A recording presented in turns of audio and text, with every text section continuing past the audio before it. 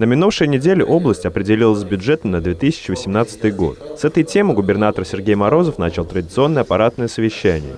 Глава области отметил, что основные задачи находятся в взаимосвязи с главным финансовым документом региона. Губернатор обозначил три важнейших направления работы. Их решение будет посвящено как начавшейся неделе, так и весь следующий год.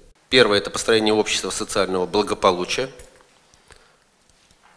с неукоснительным стремлением повысить благосостояние и качество жизни. Второе – это создание особо комфортного предпринимательского инновационного климата, направлено на формирование современной инновационной и устойчивой экономики. И третье – это формирование открытой, подотчетной, находящейся в постоянном диалоге с гражданским обществом власти и содействие самоорганизации общества – После таких программных заявлений губернатор перешел к критике недостатков по отдельным направлениям. Сергей Морозов выразил недовольство слабой работой уполномоченных по правам человека, по защите ребенка и по противодействию коррупции. Очередные несовершеннолетние там э, э, с родителями, так сказать, там пошли куда-то там в какую-то сауну париться, так сказать, отравились и все остальное. И ни, одной, ни одного, так сказать, слова комментария, так сказать, ни от одного уполномоченного. По правам ребенка, защиты э, прав э, ребенка ничего не получил. Что это за работа тогда э, в регионе?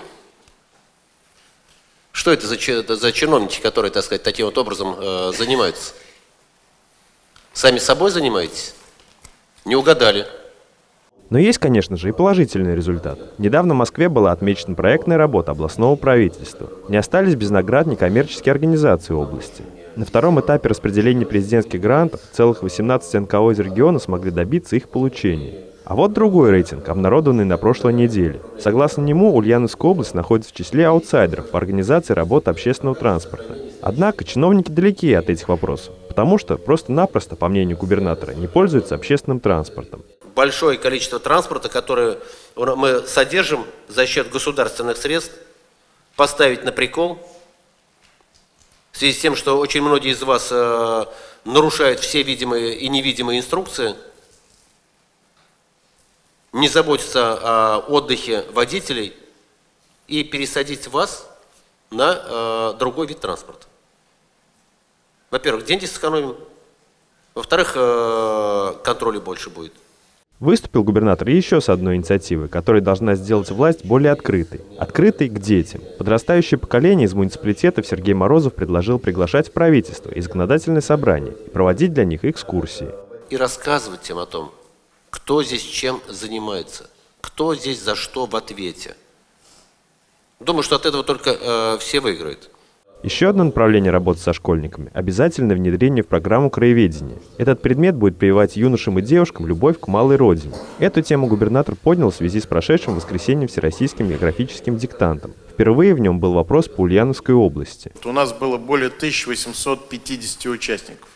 То есть, практически говоря, в два раза больше, чем в прошлом году. И самое главное, у нас не только четыре площадки в Ульяновске и площадки в Димитровграде, но и новые площадки. Это фактически во всех шести городах вчера прошли мероприятия. От исторических и географических аспектов жизни Ульяновской области перешли к социально-экономическим вопросам. Олег Асмус подвел итоги развития региона за 10 месяцев года. Индекс промышленного производства за отчетный период составил 107,4%. Та тенденция, которая у нас была несколько месяцев некоторого понижения индекса со 110 показателей, она остановлена. И по сравнению с прошлым отчетным периодом, с предыдущим месяцем, январь-сентябрь, мы даже еще немножко подросли. Единственной проблемой остается появившийся долг предприятий по заработной плате. Но до конца года он будет полностью ликвидирован. Егор Титов, Юрий Конехин, Новости дня, Ульяновская правда.